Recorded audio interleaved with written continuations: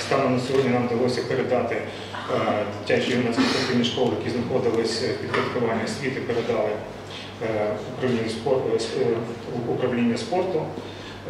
Це дозволить більш ефективно використовувати пот- пот- потенціал цих закладів.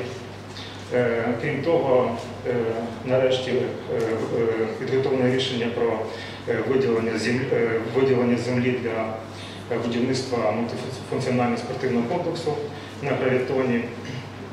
І ми проводимо спільно з громадськістю аудит е, об'єктів інфраструктури спортивного призначення в місті незалежно від підпорядкування для того, щоб в майбутньому е, після проведеного аналізу е, вкладати гроші саме в інфраструктуру, інфраструктуру спорту, зокрема і дитячого спорту в більшій мірі.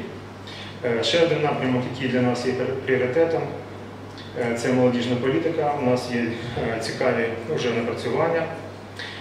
Безумовно, що розбудова молодіжної політики це є інвестиція в майбутнє, і при міській раді будуть створені окремі структурні підрозділи і дорадчі органи. Наприклад, найближчим часом відбудуться вибори до молодіжного парламенту при міській раді, і ми запустимо роботу резиденції молоді. Крім того, Чернівці увійшли в десятку е, міст, які е, значить, е, будуть приймати в наступному е, етапі відбору е, молодіжної столиці України. Сподіваємося, що е, ми займаємо гідне місто.